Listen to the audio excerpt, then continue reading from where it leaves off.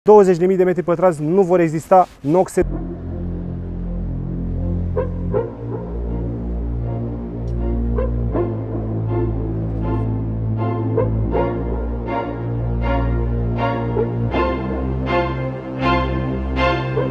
Salutare dragi prieteni, bine ați revenit la librăria TV Nexo Install, sunt Sorin Lăpădatu și astăzi am venit la Catet Family, un complex dezvoltat de grupul Catet și suntem cu dezvoltatorul Catet, cu Tudor Cobalaș. Salut Tudor! Salut Sorin!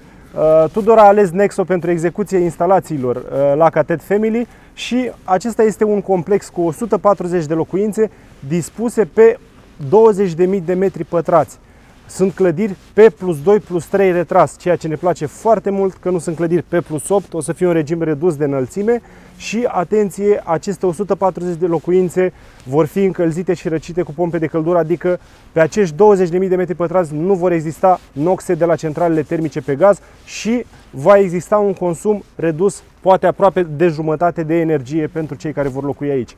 Mai multe detalii o să ne dea Tudor despre complexul lui, după care vom face și un scurtur. Ne bucurăm că, uh, că avem ocazia să colaborăm în acest proiect. Ne bazăm practic pe experiența voastră în tot ce înseamnă instalarea și optimizarea instalațiilor. Uh, suntem într-adevăr într-unul dintre cele mai aerisite cartiere care se construiesc astăzi în zona de nord a Bucureștiului.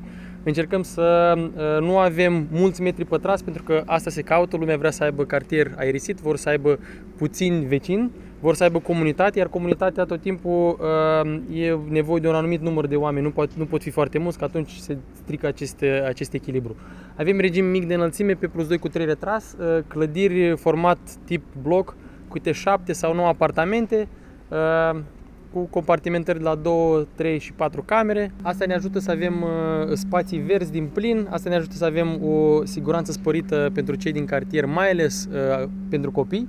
Avem zone dedicate exclusiv lor, uh, trotuare cu o lățime de cel puțin 1,80 m, pentru că studiile arată că e nevoie de spații mult mai largi ca oamenii să le folosească, ceea ce va împinge acei copii să nu se joace pe uh, locul unde merg mașinile. Sunt mici detalii urbanistice care fac de fapt traiul să fie mult mai uh, calitativ și mai relaxant. Facem un tur? Da, desigur. În spatele nostru avem modulul C cu 7 apartamente, câte 2 sau 3 apartamente pe etaj. Tot în faza 1 avem 3 uh, clădiri de tip B, fiecare cu 9 apartamente. Aici avem 12 townhouse-uri de două, două feluri, uh, tipul de 1 cu 6 uh, camere și de 2 cu 5 camere.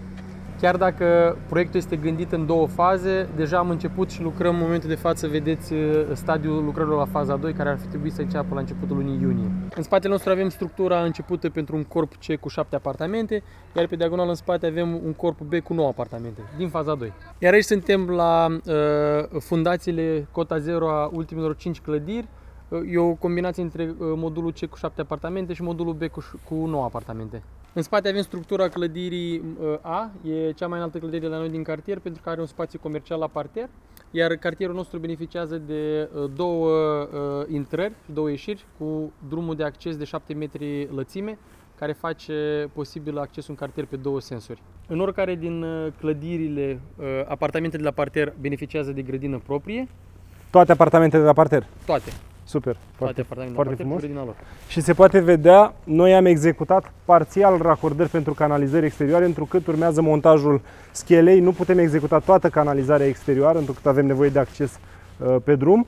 Uh, tocmai de aceea am executat-o parțial să nu depindem ulterior de demontarea schelei. Tudor, mulțumim frumos! Mulțumim, Cam atât pentru astăzi. O, vom reveni cu videouri pe parcursul derulării lucrărilor de instalații și ne va mai asista și Tudor, bineînțeles, vom discuta despre pompe de căldură, despre ventiloconvectoare și despre altele. Cam atât pentru astăzi. Apelați cu încredere la noi dacă doriți lucrări de la A la Z, atât construcții cât și instalații și nu uitați să salvați planeta!